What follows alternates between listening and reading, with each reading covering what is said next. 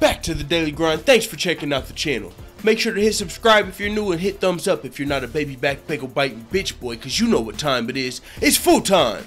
MMA. Jon Jones delivering more oblique kicks to our hearts with another inspirational starting again video. The uh, under that video he also posted uh, he posted that yesterday. It was Happy Halloween. He said hashtag day one hashtag pick yourself up and start again hashtag gold going for the gold or some shit like that. Like, damn man. Jon Jones is coming out, and I don't know if he got some good news, or I don't. I don't think that's the case. I'm, if if Jon Jones, I think had any developing news with USADA, like I don't even know when that's coming out. I mean, we seen the most recent, the latest developments have been the USADA agents talking about, well, not agents, like they're fucking the feds or something.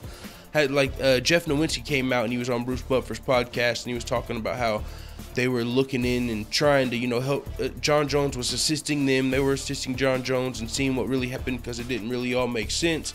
And if Jon Jones could prove that it was he had no fault, you know, he could have no, as little as no suspension. Now, that's not very likely, but it is a possibility. And Jon Jones is on social media and he's been posting inspirational, emotional ass videos lately, and that was one of them.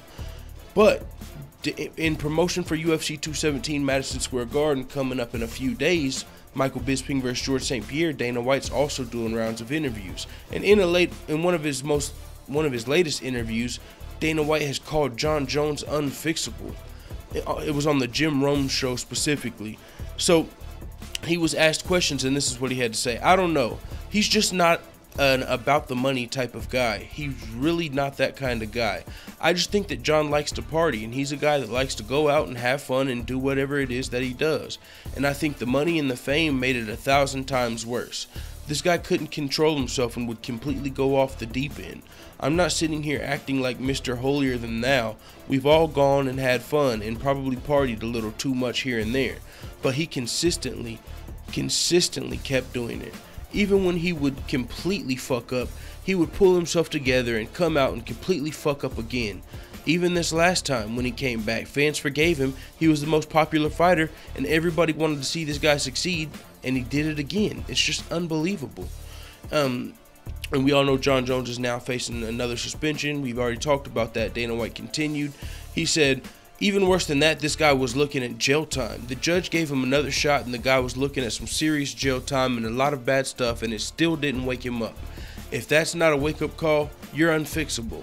So, I mean, it is what it is, and I, I, I know, like, I, I'm kind of joking a little bit, like with these oblique kicks to the heart, like it because the video was actually really well edited, especially that one earlier, you know, with all the still pictures and Jon Jones and all the sentimental memories and you know before the 214 fight whenever we had that feeling you know before the USADA test that video would have got a real lot you know would that, that video would have got real real real quick if at the very end you know the music would have changed from that happy ass music to like a dun and it like had Jeff Novitzky dun then it had like you know what I'm saying? Afterwards like but um so all right that I think I've said enough on this video. Dana White's calling Jon Jones unfixable. Let me know what you think about this in the comments, man. It is what it is. Let the full time family. I already said that shit. I'm out.